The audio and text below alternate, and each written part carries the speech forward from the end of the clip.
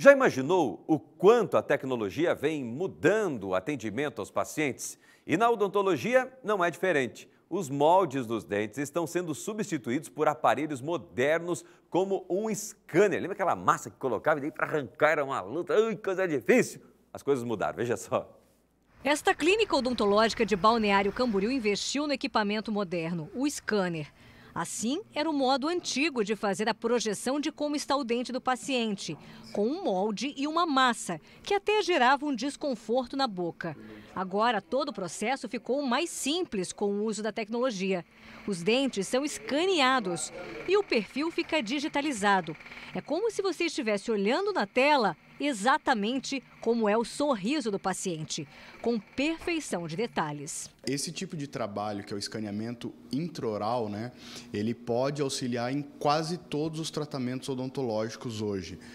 Por exemplo, a gente vai fazer um planejamento para implantodontia. A gente pode fazer esse escaneamento e junto com tomógrafo, a gente fazer um planejamento e fazer a cirurgia por computador.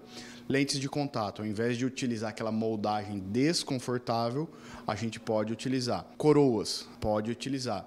O mais legal também, a gente pode fazer esse escaneamento intraoral e já fazer um planejamento, uma simulação de como que pode ficar os seus dentes para um possível tratamento ortodôntico. O scanner possibilita que a prótese fique pronta até no mesmo dia. Se o mesmo procedimento fosse feito de maneira convencional, aí demoraria pelo menos um mês. O Fernando tem problema de bruxismo e isso causa um desgaste do dente.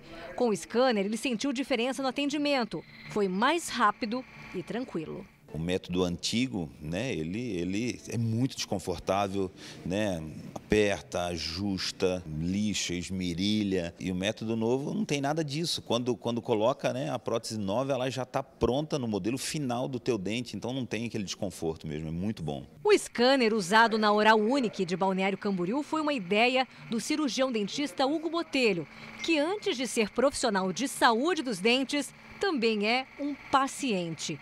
O scanner vem sendo usado como recurso a mais junto com o raio-x para identificar problemas dos pacientes e montar um planejamento dos procedimentos que podem ser feitos, desde implantes até correções ou a melhora da aparência dos dentes. Que praticidade, né? A tecnologia cada dia mais facilitando os atendimentos e também gerando satisfação para o paciente. Vamos falar de educação?